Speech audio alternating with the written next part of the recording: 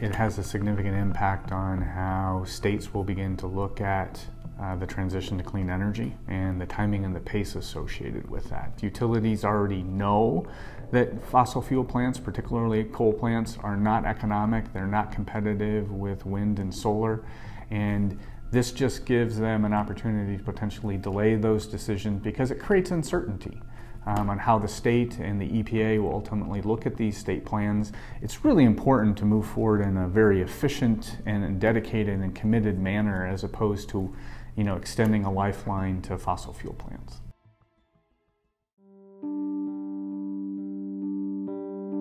So having citizen engagement demonstrating their support for moving to our 100% clean energy is going to be critical to put more and more pressure on the legislature to move forward on this critical issue. Reach out to your legislators, let them know that you're supportive of the Evers administration goal to 100% clean energy.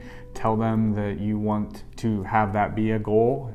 Wisconsin needs to be able to move forward with that, and time is of the essence in order to be able to, to accomplish our long term goals.